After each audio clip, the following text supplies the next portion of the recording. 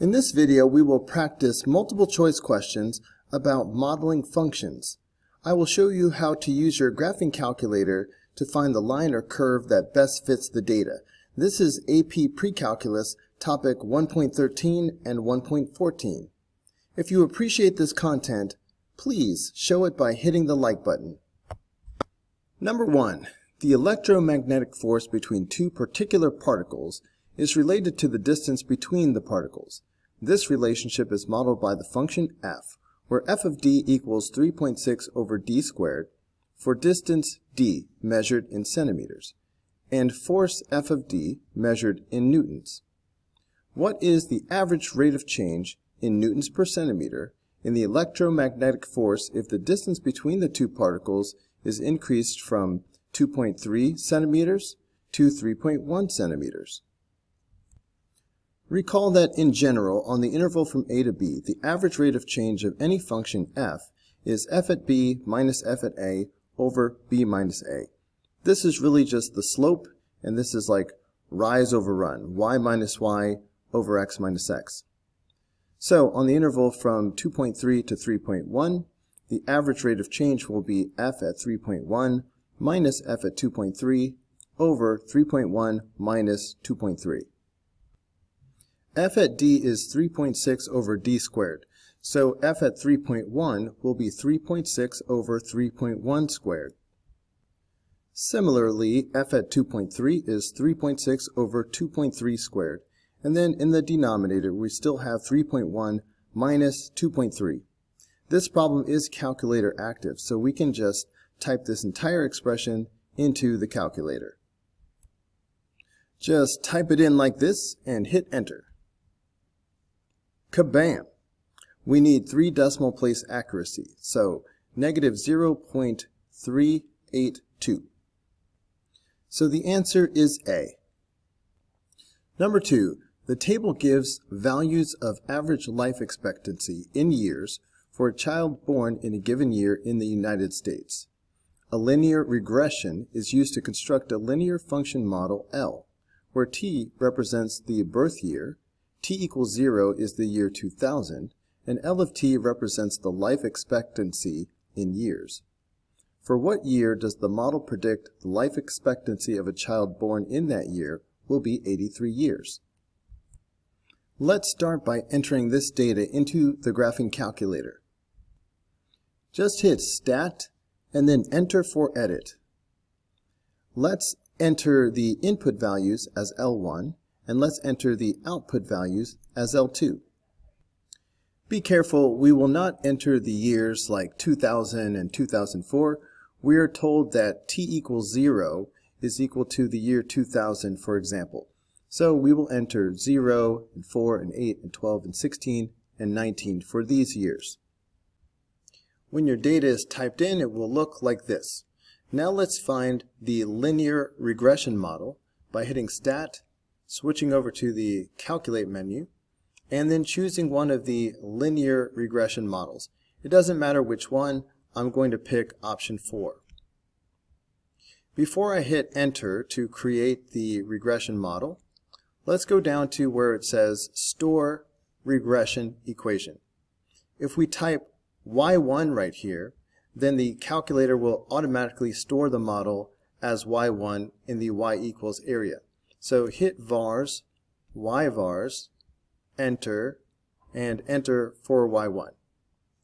Now when we hit enter twice to create this regression model, if we look under y1, we see that the, the regression model is here entered as y1 for us.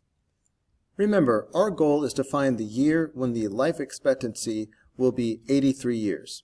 So we need to find where L of t is equal to 83. We just made a model for L of t and we put it into y1. So we need to find where y1 is equal to 83. We can find that using the calculator if we let the right-hand side of the equation be y2. So if we put 83 right here and graph both of these equations, the intersection will be the solution that we're looking for.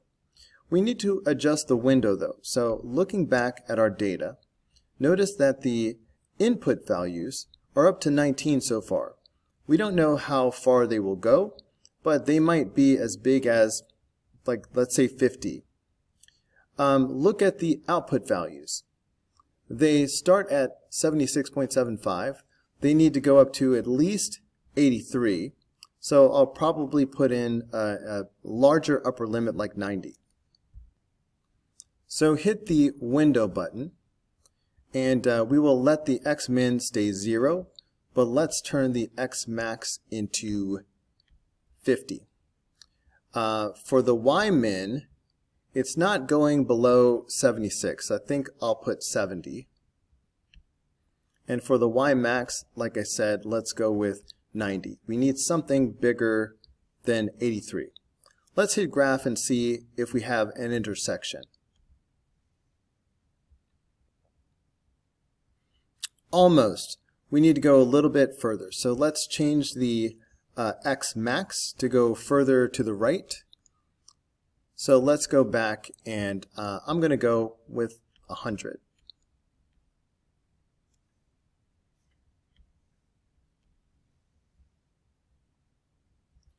So now we can clearly see the intersection. We can find this intersection point by hitting second trace intersect and uh, just make sure your pointer is close to the point of intersection and hit enter three times. Enter, enter, enter. So this is the number that will have to be translated into a year. Since 51 corresponds to the year 2051, the answer is B. Number 3. Boyle's law states that states Number 3. Boyle's law states that the pressure of a gas is inversely proportional to the volume of the gas at a constant temperature. The table gives the volume V in milliliters of gas for a selected pressure P. Which of the following gives a model for the volume of the gas as a function of pressure? Note, if y is directly proportional to x, then that means y equals k times x, where k is a constant. If y is inversely proportional to x, then y is equal to k divided by x, where k is a constant. We are told that pressure and volume are inversely proportional. So V is equal to K divided by P, where K is a constant. That matches C or D. So that means the answer is not A or B. To choose between C or D, let's pick an input value and evaluate the expression and see if we get the correct output value.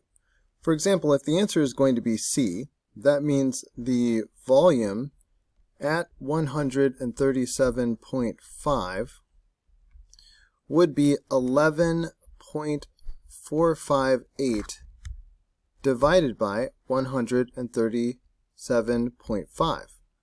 The question is, is this even close to this? Well, we're dividing 11 point something by 137 point something. So this is much smaller than 1 and nowhere near 12. So the answer cannot be C. Option D makes more sense. If we evaluate this formula at 137.5, then this would equal 1,650 divided by 137.5. So we have a much bigger number in the numerator than the denominator, so it makes sense that this might be about 12. Uh, let's go ahead and put it in a calculator and see what we get. Kabam! The answer is D. Number 4. An X-ray machine is used to eliminate germs in certain food processes. The intensity I in millirads per hour of X-rays produced by the machine is inversely proportional to the square of the distance d in meters from the machine. For a certain machine, the intensity is 26.5 millirads per hour at a distance of 4 meters. Based on this information and using the same machine, what is the intensity in millirads per hour at a distance of 3.3 meters? First of all, if the intensity I is inversely proportional to the square of the distance, that means I is equal to K divided by the square of the distance, where K is a constant. Here they have given us one intensity and the corresponding distance. We can plug both of these values into this formula and solve for the constant K. So when the intensity is 26.5, so the 26.5 goes here for the intensity, this will equal K divided by the distance squared. So that's going, going to be 4 squared, which I'm going to go ahead and just put 16. Using a little bit of algebra, if we multiply both sides of the equation by 16, that will give us the solution. So I'm going to multiply by 16 on both sides. These 16s will cancel each other out, and that, that will leave us with the value of k. k is 424. Substituting this value back into our original setup gives us i equals 424 over d squared. Now we can use the complete formula to answer the question, what is the intensity at a distance of 3.3 meters? So we will just substitute 3.3 in for d. And we can just type this into the calculator.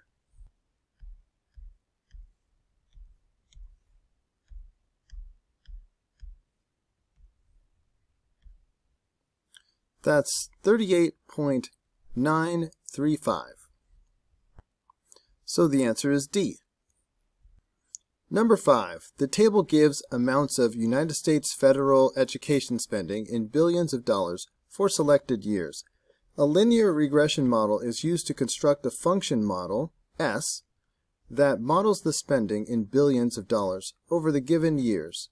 If t equals 1 corresponds to 2011, t equals 2 corresponds to 2012, and this pattern continues, which of the following defines function s?